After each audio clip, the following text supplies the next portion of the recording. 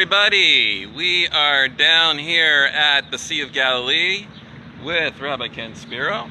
We, some of you saw us yesterday. We were at the Jordan River. It's Erev Shabbat.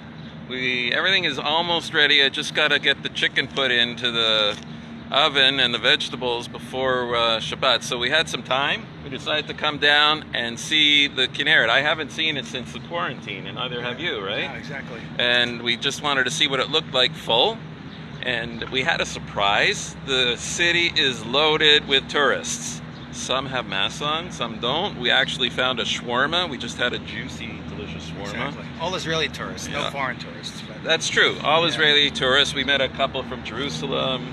Who were the people we met at the river the other day from somewhere in the Shomron? Yeah. People from all over the country are coming up to take pleasure, and you're hearing in the background pleasure boats. People are renting pleasure boats here. Yeah, the beaches are closed. So, yeah, the beaches are all closed. You can't swim, but you can go on a boat. But you can get a shawarma, and we actually sat outside at a Oh table. It's amazing the things you learn to appreciate. Yeah, exactly. Sitting outside at a restaurant. Exactly, sitting outside in a restaurant. So we just finished our shawarma. We walked down here. I'm sure uh, if you've been here, down by the lake in Tiberias at the end of the pedestrian walk, give me a thumbs up. And uh, I know some of you have, and we're here. Kenny, you can tell us about what's Sure. behind us. That Well, behind, monument right over, right over there. Yeah. Over there.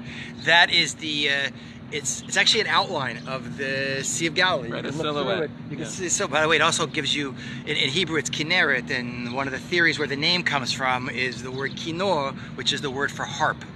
And they say Like if you King look, David's harp. yeah, King David's harp. And if you look from an aerial view down, Oh, look at that. It looks like a biblical harp. Wow. So that is one of the theories. Never knew so, that. but what's really cool is in there you can't really see because of the sunlight, but there's a little dial there that's giving you the height of the water now. And we know this this this is the top of the Jordan Valley, which is Israel's eastern border. There's the Golan Heights on the other side. That was Syrian-controlled territory until uh, June 10th, 1967. Now it's part of Israel.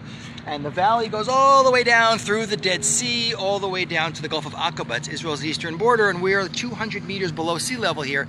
So when you measure the height of the water, it's actually saying minus 209. Well, 208.9. 208.9. Right. And as as as it goes, it's interesting because it's it's counterintuitive. As the evaporation lowers the level, the number goes up, which Right. sounds the opposite. So 209 is great because we're if you look around, you can see it's amazing. I last year I was here. Yeah, let's go walk Yeah, towards you can the. see. Uh, we'll get a little bit closer. You can. Uh, there, it was like a 20 foot drop here. You could not even bring boats into here because there was no water. And you can see that literally the water level has gone up. I don't know, like 15, 20 feet since the beginning of the winter. Amazing. They said it was going to take like 10 years of rain to fill it up. You want to see a miracle? It's literally, we are literally, and it's super hot today. It's in the, it's over, it's like about 100 Oh, degrees out here. Look at the There's fish. right over there. But this was about 10 feet down on the rocks over here. And uh, we're literally, you could see, we're within a few feet of overflowing the, the, the shoreline, which is incredible. There's not over here, but you see these trees sticking that are submerged underwater now because for so many years the water level was so low. Right. So there we're looking all the way across. At, at its maximum, it's about uh, 12 kilometers across, which is about eight miles, seven, eight miles. I'm trying to convince Ken we have enough time before Shabbat to drive over there. That's where the my God, Inar Hotel is on the other side, the Golan Heights side of the lake. And by the way, the Syrians got all the way to within a few hundred meters. Shows you the Golani Brigade, incredible military feat that they were able to get up that 1,200 feet up. One of the most heavily fortified, it's like the North and South Korean border there. Fortified minefield, bunker in place, place. They did it in basically a day, and they took the uh, Golan Heights from the Syrians, who used to use it to shoot down all the farmers and shell places in Israel. So now it's under Israel sovereignty. But if we go that way, another 40 miles, we end up in Damascus. I, uh, I'm going to tell Ken, our tour guide, something that I don't know he knows right now. So one of the people that took the Golan Heights in '67 is the old timer in our synagogue, Baidech. I showed it at his house Right, in right. Yavniel. His grandfather was one of the founders. He was in the Golani Brigade. There were a lot of Yavni Elim, a lot of guys of his vintage that were in the Golani. You know why? Because the Golani Brigade was founded in Yavnel. Really? And the I Golani tree, know, yeah. the Golani tree, the semel for the Golani It's is just a, an oak just- tree. It's an oak tree, yeah. So I can take you out and we can drive down into the fields the outside of? Yavniel. there's the original tree where the Golani soldiers used to hang out and make a picnic and a barbecue. The tree is actually Ah. still there. That's even better because my son, who is now an emergency room doctor in Shaare Zedek, was a combat medic in the Golani Brigade. There you go. So, uh, So Baidich, uh, if we went to shul, we're not going to go to synagogue because it's still shut, but he could tell you the story about what it was like in 67 to take the Golan Heights. He was with them. Right, right. Have you seen the show that they did on Netflix about Eli Cohen, the spy? Right. With Sacha Baron Cohen, who was in there till 1965. He provided a lot of really important information as a spy. High, the high, one of the greatest spy stories and tragic spy stories in Israel's history, but that really helped the Israeli army on that last day of the 67 war take that uh, Golan Heights. I'm sorry if I'm not showing you everything clearly. I'm messing around because it's so bright and sunny. So it's 40 here. degrees here. Yes. How much is that in Fahrenheit? Well, you double, it's 80. Subtract 10% is 72, and add 32 to it, so it's 104 degrees. Yeah, it's 104 degrees, very sunny, so it's hard to see my screen. So I apologize. So, but the tourists are out in full force renting boats. Here's a guy, a couple guys just took out this boat. You can tell because it got a number on it, and they're just bringing their boat back out in the lake. You can see out there people water skiing. Uh, what's that thing? Skidoo? Not um, skidoo, right? The, snow, the, uh, the, uh, Uh, what do they call it? I'm from Canada, so I know about snowmobiles. Uh, and this skis, is water skis.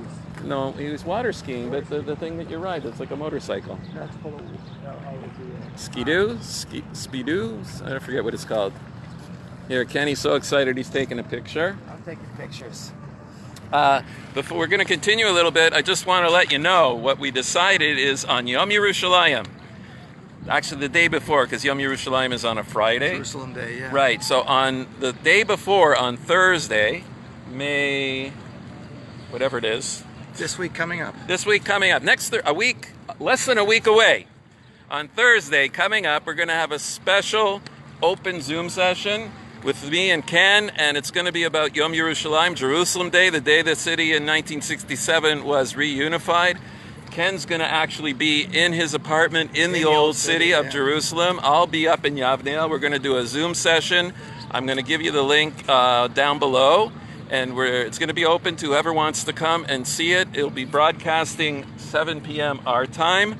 That'll be noon Eastern Daylight Time, and everybody adjust accordingly, right? So that means on the coast, in the West Coast, in Los Angeles, If you're in it'll be 9 Hawaii, it'll be really early. Well, we have people in Alaska, North Pole, Alaska. It's actually a lot earlier too, but they're they're good about it. They join in, and there'll be a replay available for whoever registers. So you're gonna have to register for that. I'm gonna put the link in the down below, and Ken and I we're gonna have a discussion with all of you and uh, about the significance of Yom Yerushalayim, some things you never heard about, the importance of it, the military, the the spiritual aspects of it. So stay tuned for that. Okay, you want to say anything else uh, while we're here about? yeah, I'd love to go in the water.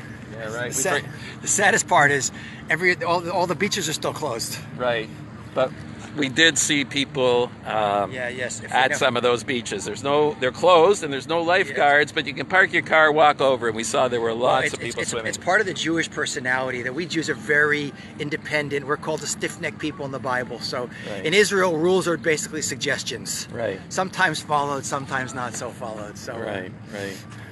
So uh, yeah, we could have done that, and uh, it looks so inviting, especially when it's 104 degrees exactly. and the water's so beautiful, high and cool.